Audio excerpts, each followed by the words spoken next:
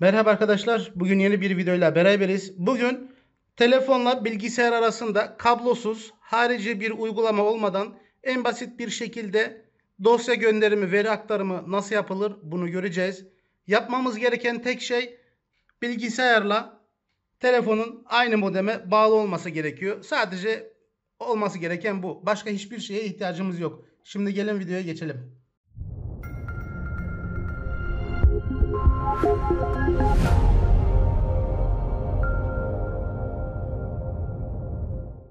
Evet arkadaşlar şimdi öncelikle uygulamaya telefondan başlıyoruz. Telefonumuz telefonun Xiaomi bir telefon. Telefonun dosya yöneticisine giriyorum. Buradan sol üst köşede olan 3 çizgi var. Buraya tıklıyorum. Buradan FTP olan kısmı tıklıyorum. Şimdi şöyle bir şey geldi. Buradan e, şimdi şöyle söyleyeyim. Biz bunu bilgisayarla telefon arasında kurulum yaptığım zaman direkt şifreli mi olsun veyahut da açtığım zaman direkt şifresiz bir şekilde çıksın mı? Bunu sırasıyla uygulayalım. Yani güvenlik açısından diyelim ben bunu şifreli bir şekilde bilgisayarımla paylaşmak istiyorum. Ayarlara giriyorum. Ayarlara girdikten sonra buradan hiçbir şeyi ellemiyorum. Aşağı geliyoruz. Hiçbir şeye dokunmadan sadece şu alttan kullanıcı adı ve şifre belirliyoruz. Bunu siz istediğiniz gibi yazabilirsiniz. Ben buraya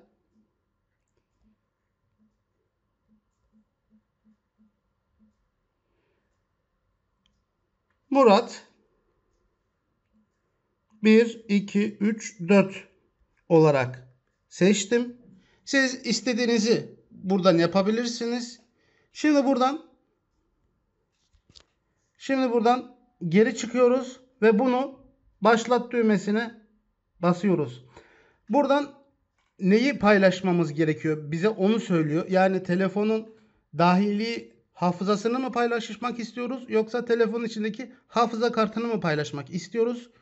Ben diyelim ki buradan hafıza kartını paylaşmak istiyorum. Evet. Bana şurada bir tane URL adresi verdi. Şimdi bunu bunu böylece bırakıp bilgisayarımıza geçiyoruz. Şimdi bilgisayarıma çift tıklıyorum. Buradaki çıkan menüden. Şimdi burada sağ tıklıyorum. A konumu ekle diyorum. A konumu ekledikten sonra bunu ileri yapıyorum. Hiçbir şey dokunmadan tekrar sonraki yapıyorum.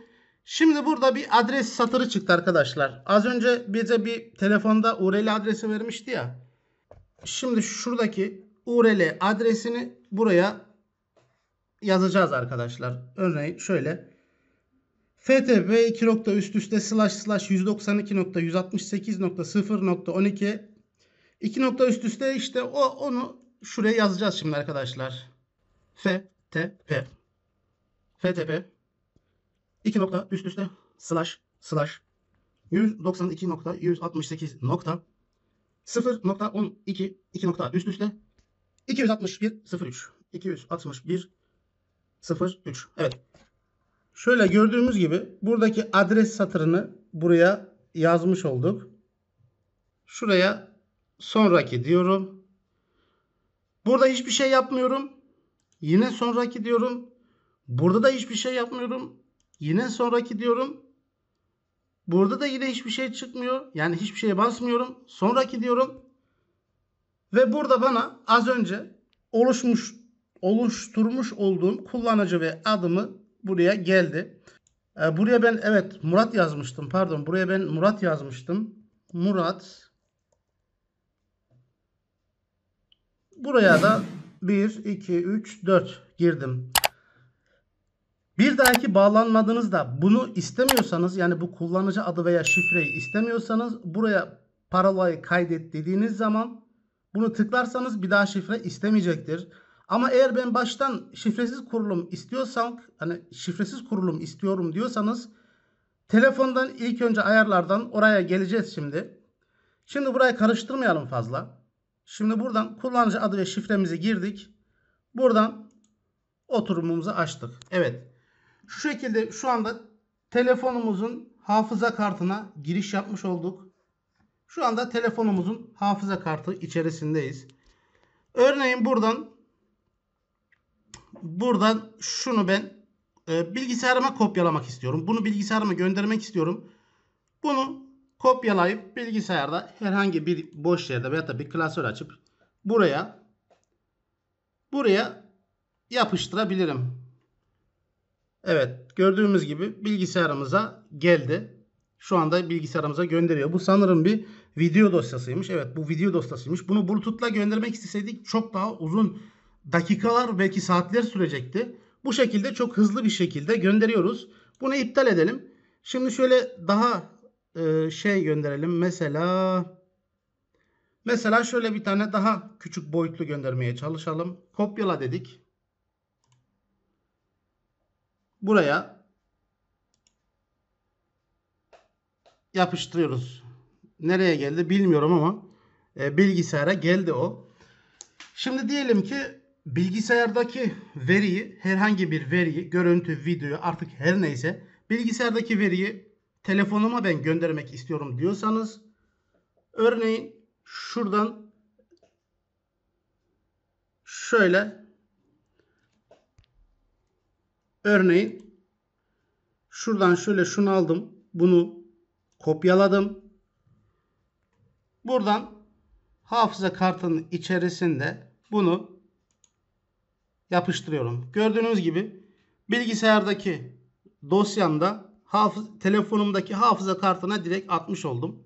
Şimdi burada şunu da göstereyim. Az önce bir kurulum yaptık ya buna kısa ad verebiliriz. Bunu buradan yine şuradan üstüne sağ tıklayıp buradan isimlendir dediğim zaman ben Redmi diyorum. Evet şu anda Redmi telefonum olduğu e, bir kısa bir isim yani bunu isterseniz değiştirebilirsiniz. İstediğiniz istediğiniz şeyi yazabilirsiniz. Şimdi bu şifre istiyordu ya arkadaşlar. Evet şimdi bu şifre istiyordu değil mi? Şimdi bu şifre istiyordu. Şifreyi tekrar girelim. Bunu şifresiz yapmak istiyorsam parolayı kaydet diyorum. Bir daha giriş yaptığım zaman bunu sormayacaktır. Oturum aç diyorum. Evet şu anda giriş yaptık. Şimdi çıkalım. Tekrar giriyoruz. Şimdi normalde şifre istemeyecektir. Evet. Şu anda gördüğümüz gibi şifre istemedi. Şimdi ben bunu direkt şifreyle falan uğraşmayayım. Direkt bağlantı yapayım diyorsanız onu da birlikte yapalım. Şimdi şuradan öncelikle şunu silelim. Bunun ismini de değiştirdik. Bunu modifiye de yaptık. Bunu silelim. Şimdi telefonumuza tekrardan giriş yapıyoruz arkadaşlar. Şimdi yeni bir kurulum yapacağız. Şimdi bunu durduruyorum. Şimdi buradan yine Şimdi buradan yine dosya yöneticisine geliyorum. Bu şifresiz bir kurulum yapmak için yine buradan 3 çentikten basıp buradan yine FTP'yi tıklıyorum. Buradan çıkan şeyden şu ayarlardan ayarlara tıklıyorum. Buradan yine hiçbir şey ellemeden sadece şurada diyor ki yani anonim olarak bağlantı kurulsun mu diyor. Bunu açtığım zaman şifre istemeyecektir. Şimdi ben bunu şifresiz kurulum olarak açtım. Şöyle şu şekilde anonim olarak. Böyle geldim.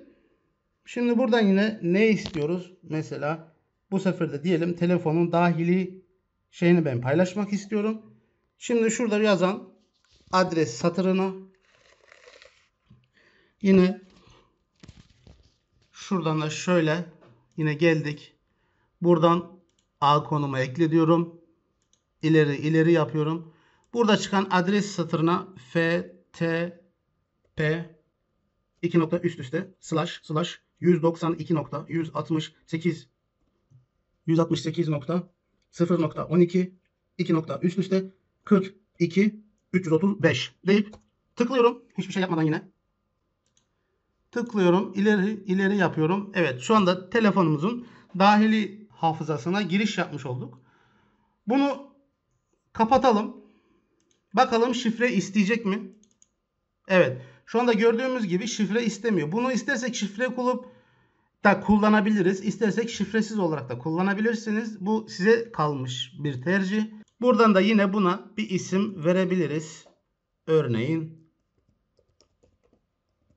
ben buna şifresiz Redmi Örneğin ben buna şifresiz Redmi dedim. Bu şekilde kaldı. Telefonumun hafızasına giriş yapmam. Buradan istediğim dosyayı alıp kopyala deyip bilgisayarıma istesem burada bir klasör açarım. Şöyle bir klasör açalım.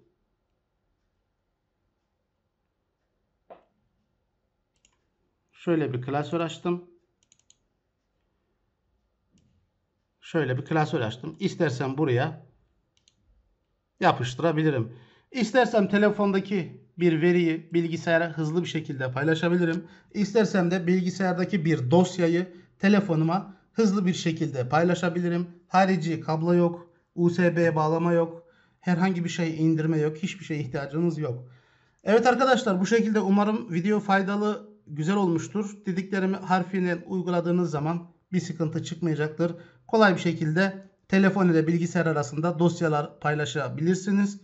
Video beğendiyseniz lütfen like atmayı, kanalıma abone olmayı unutmayın. Bir dahaki videoda görüşmek üzere. İyi günler.